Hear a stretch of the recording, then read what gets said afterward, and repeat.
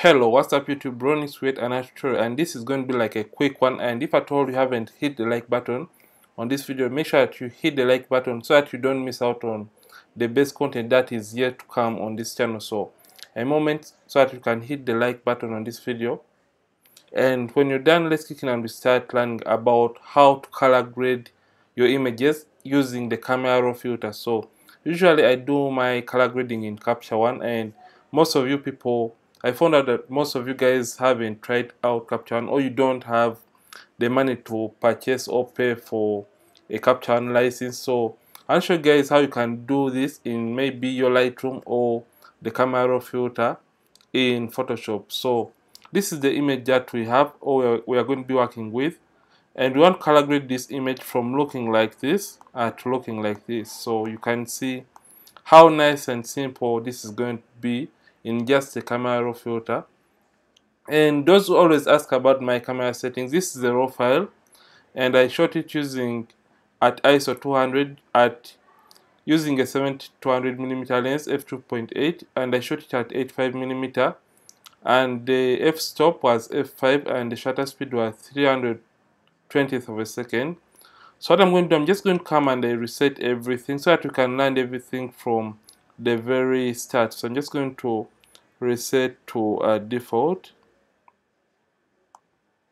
so that we can learn everything uh, from the start. So usually if at all you shoot in raw this is going to be like a more added advantage because you have a lot of colors to deal with or enough details to work with in your images. So uh, usually when I'm working on the raw files I start from the highlights to regain back the detail in the blown out highlights just like that and I do the same for my whites just a little bit. And after doing all that I add contrast to the image. So this is more like processing my raw file to look good. And one little reminder for you guys every single time you're color grading your images make sure that you have a calibrated monitor or screen that is going to show you guys the accurate colors so that you don't get everything wrong when you're doing the color grading. So make sure that you have the monitor that is going to display you the right colors or accurate colors because you don't want to run into those problems whereby the image is looking different in your computer and on your phone it is looking a little bit way different. So after adding some contrast into the image I come to the blacks and I punch in or push in the blacks to get more contrast but this adds or introduces shadows into the image. So I just come and I open up the shadows just a little bit to around 23 and I could just pump up the exposure slightly. And right now the image has that nice and rich contrast. So I tend to add clarity into the image to around I go with around 5 then the next thing I prefer to do is coming under the vibrance and under vibrance I simply knock this down slightly it around negative 4 and I think that looks good. So let's see before and after so far. This was the image before and this is the after. So our after is really having that nice and rich contrast that we are looking for in this image. So after doing that the next or where the magic is going to take place is going to be in the HSL panel. So HSL is more of hue, saturation, and luminance. That's why you have hue, saturation, and luminance. And hue is more of maybe the opposite of a given color. That's, that's what I can define it. I don't know the right definition. And saturation is more of the intensity. And luminance is more of the lightness or darkness of a given color. So where I usually start from is under the hues and what I do in this option I simply hue the reds because I'm dealing with skin tone. So I'm just going to hue the reds and I take it all the way up. Just I think at around 40 we are good to go. And you can see skin tone is now looking a little bit more even. Then what I do next is coming to the oranges and I simply turn the hues up a little bit more. So let's see the before and after so far. The skin tone is now looking a little bit even and we don't have those red spots that were in the skin. And the next thing I, I do is coming to the luminance and under luminance I tend to push this down just a little bit so that uh, the skin tone can really be good enough. So you can see the skin tone is now looking solid or unique.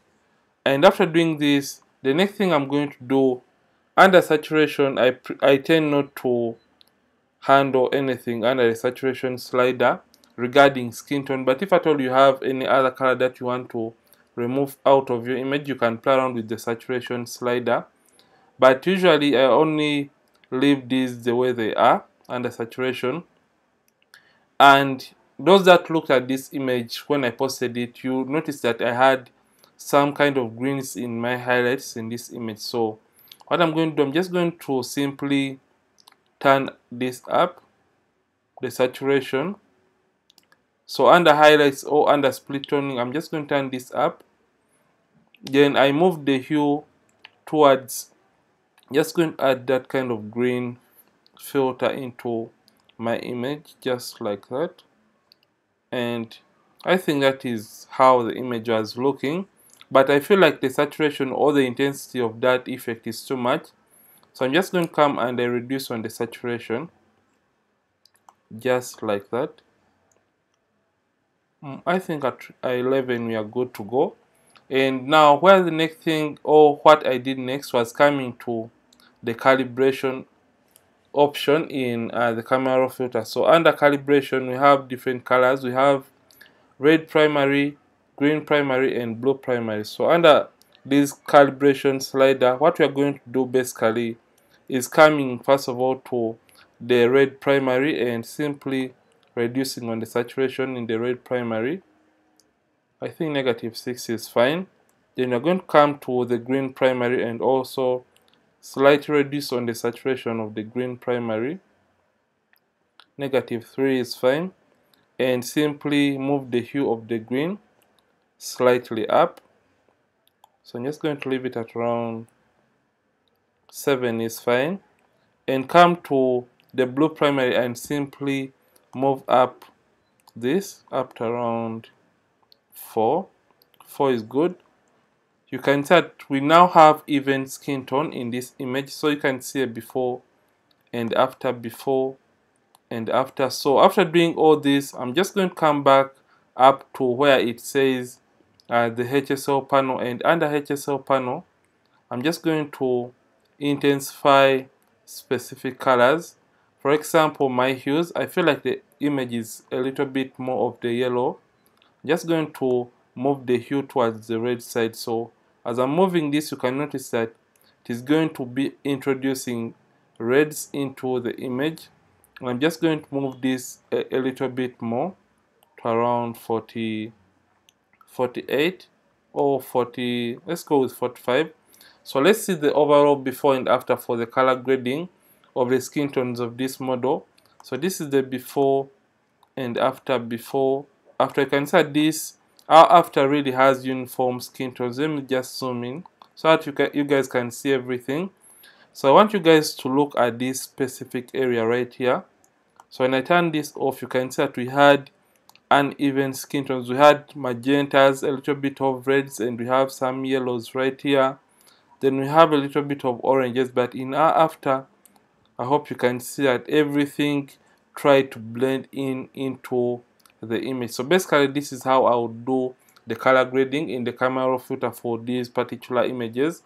And if at all you wish you can go ahead and do some little bit of eye and teeth whitening and this is going to transform your image to a whole new level. So just zoom in and come and get your adjustment brush tool and simply reduce on the temperature to around take it towards the blue side to around 19 and do the same for the tint to around around 50 let's go with around 50 and come and desaturate the rest of the colors up to around negative 67 and simply paint over the white area of the eye to whiten it. And this is going to really transform your images to a whole new level. So just come and paint over the white area. So you only have to paint over what you feel should be white in your images. And when you're done doing all that you can now open your image into Photoshop to do the skin retouching and other adjustments like blemish remover and finally save your images. And if at all you have learned something from this video don't forget to like it and don't forget to subscribe this channel if at all you have been watching from this channel for the very first time. Ronnix from Ronnix Photography thank you for watching and see you in yet more tutorials. And don't forget to keep practicing and keep creating